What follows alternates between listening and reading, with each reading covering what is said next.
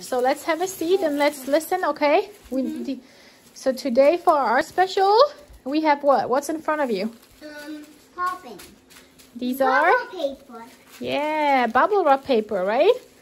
So, um, what are we going to do? You, you each choose a color. So let's say we have, what color is this? Yellow. So we'll have yellow. We'll have, what color is this? Red. We'll have red. And we will have Blue. blue. So everyone will choose one color. I want blue. Okay. I want, I want yellow. Blue, yellow, and red. And what are we going to do is we're going to squeeze a little.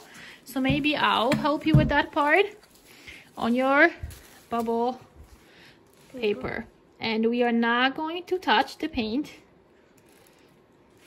And Oh, I know. You can move it around like this. Paper. well, yeah, good idea. What do you think we're going to do with the paper? Um, paint with it. Okay, let's see. Let's pour our paints Can I on our bubble wraps.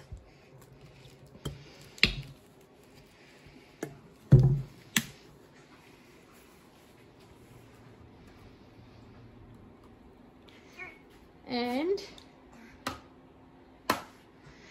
we will spread the paint using the paint brushes, okay? it? This one. So try to cover most of your bubble wrap, okay? Mm-hmm. And paint.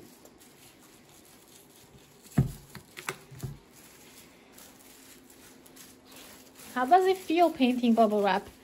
Does it feel the same as you painting paper? No. No. How is it different?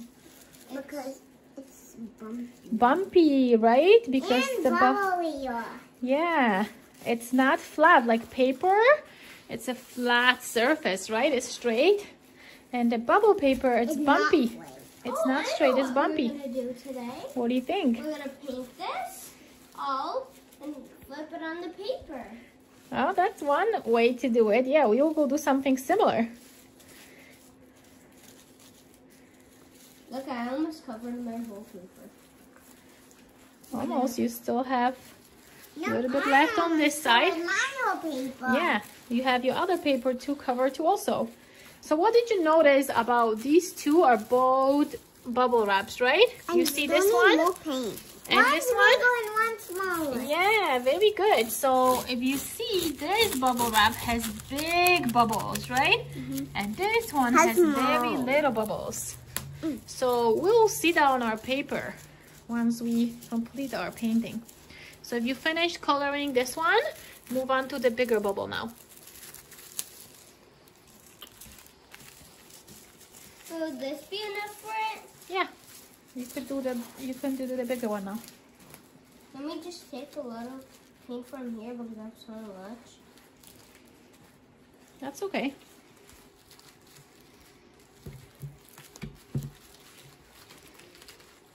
One will be way harder to paint because it's so big. Is is the bigger one yellow for big. okay? Is the bigger one harder to paint? Mm-hmm. Why do you think so? Easier.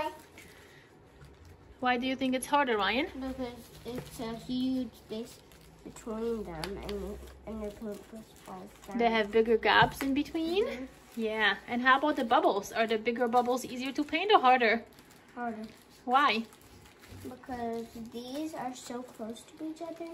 and These are so far and also Are they more fluffy?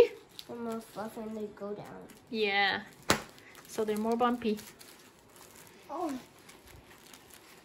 I think you might need some more paint on yours too, on your big one, Sarah. Mm. So let's fill up a little bit more here so you can paint. Oh. Look, I Yeah. still need more paint. I definitely want to translate it. Okay, let's add a little bit more on this side. On the yellow. And Ryan, you would like some more paint too? Okay. Yes, thank you. Okay. Well, let's add more on this side so you can spread it out. I can't. It's hard to spread it out. Well, just do your best. It doesn't need to be perfectly covered. I want it. Sugar, don't even wait for paint. You have it pretty covered pretty well. No. Yeah, you're doing good job, Eve. No, I need help. You'll see on the paper that it's perfect. Not every bubble has to be covered. Just what you have is perfect. So can I have your paintbrush now? No. On every bubble. You want everyone to be covered? Okay. Whoever is ready, I can take the paintbrushes and I can explain you what to do next, okay? Mm hmm I'm gonna be soon done. Okay. How about you, Sarah? Are you almost ready? Okay, I'm ready. Okay. I'll take the paintbrush. Mm, Yeah. So what are we going to do? You know how you had the idea of taking the bubble wrap and flipping them onto paper? We are going to do something a little bit different. That way you get to feel. I know. You put this on top. So, um, So we're going to place the paper on top of your bubbles. And now squeeze them. Everywhere you feel bubbles, squeeze them onto your paper.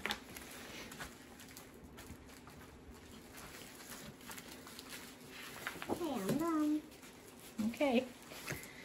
And now, Ryan, if you're done squeezing, you can flip your paper, paper over. Yeah. Yeah, move the bubble wrap down. Perfect. And now let's put that here. And look what you made. Mm, I'm done. Do you see the difference of bubbles on your paper? Mm-hmm. Which one was the bigger? Which one was the smaller? This That's one bigger. is bigger. Down. You don't need to pop it.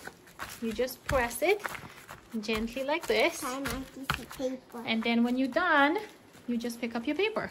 Whoa. Let me see yours. No, Wow. Can I flip it? That's beautiful. can I flip it back on? Yeah, you can do that. back? That's beautiful. You ready for your paper, Eve? Yeah. That came out so pretty. We- I'm going to put it here. another one with different paintings? You want to do one more? Yellow. After I'm done with Can I put Yeah, it on? I'll get you. Here, So place this on your No, like yellow. bubbles I like some red. and press. Oh, you didn't press this side.